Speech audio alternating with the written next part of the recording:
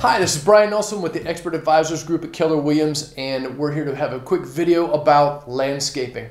Now, as you buy a new home, or if you're a seller that's getting ready to sell your home, you may be considering landscaping the home. So there's a couple of really important details that you want to go over. Having a degree in landscape architecture and land development myself, it's near and dear to my heart. And so some things you want to consider when landscaping is should we be planting shrubs? How close should we plant those to the house? Another one is mulch versus rocks. Another important topic is annuals versus perennials. It's very confusing. They sound the same, and sometimes you just have to Google it to figure out the difference between the two. So, first and foremost, shrubs. Something to consider, and I covered this on another video that you'll want to watch, is there's a tag on every plant you buy. Whether you go to your big box store and you're going to your home improvement store to purchase it, or you go to a landscape yard where you have an arborist or a landscape professional that can give you their opinion on it, you wanted to first determine am I looking just for a shrub for a hedge line or am I looking for something that's going to bloom? Something to consider if you have children or pets. Are any of the seeds or any of the blooms poisonous to animals or children? Something like a sago palm can kill a pet. So that's something you want to take into consideration. If you have a puppy that eats everything, sago palms can be very dangerous. So when you're looking at shrubs, you want to take a look at that tag or talk to your arborist, find out what their growth pattern is. You don't want a tree that's going to get 10 feet wide planted next to three others that are only a foot or two apart. What's going to happen there is they're going to grow into each other. A couple of them are going to die off, and you really could have saved money by only buying one or maybe two.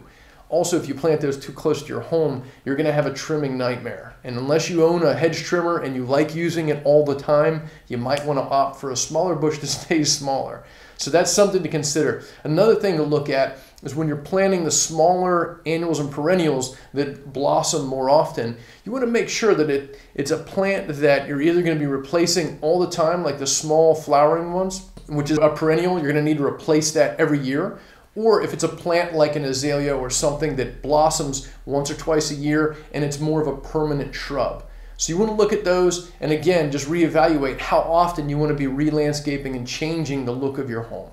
Lastly is an important topic, it's mulch versus rocks. One thing to consider if you're going to put pumice rocks or river stone in your home, do you ever want to remove it? It's not fun and it's hard to do. So that's something to take into consideration when you're adding that to your landscape is how easy is this item to remove in the future?